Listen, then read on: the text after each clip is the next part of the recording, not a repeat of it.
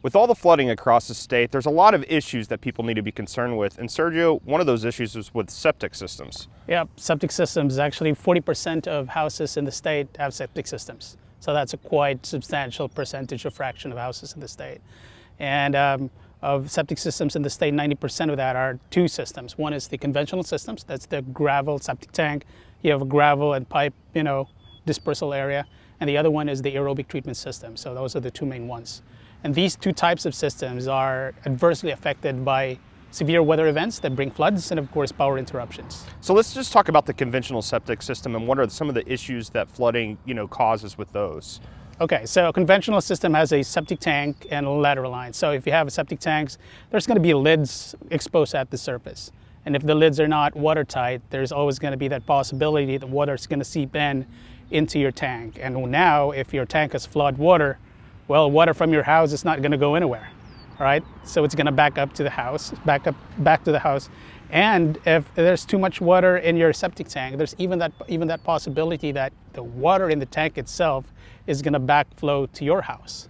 So that itself is, is a very, very, very bad situation because you know you have contaminants and pollutants and ha hazardous uh, substances in, in, in your um, sewer. Well, that well that sounds really worrisome. But there are some measures that people can take to you know if their backyard is um, flooded. To you know there are measures that they can take to prevent some of those issues, right? Yeah. To, to prevent those those issues. Um, First of all, you, you, whenever your back, backyard is not flooded, where your septic tank is, the first thing you got to do is minimize water use. You never know how long the flood is going to last, so minimize water use. Uh, uh, the, the, second is that if you have a if, if you have a, uh, a basement, better plug the, those drains in your basement just just to be just to be sure. So let's move to the aerobic systems and with those what what are some of the issues that flooding causes with those types of systems? All right, the aerobic treatment system. Again, this is a very very popular um, system in the state. It runs with electricity.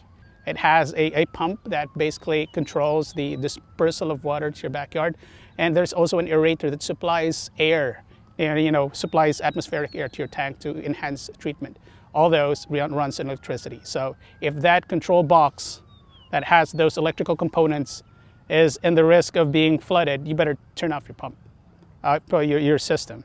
Uh, because you know water electricity doesn't really agree with each other. Whenever there's a flood, whenever there's there's there's flooding that affects your electrical components, your septic tanks, it's it's prudent to call somebody, a professional.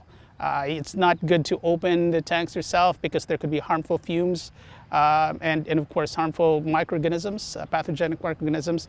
And uh, for those electrical components, if they are flooded, a rusting and short circuiting, that's not a good deal for you to do by yourself. Call a, uh, a professional to do it for you. All right, thanks Sergio. Yeah. If you would like some more information on conventional and aerobic systems, go to our website, sunup.okstate.edu.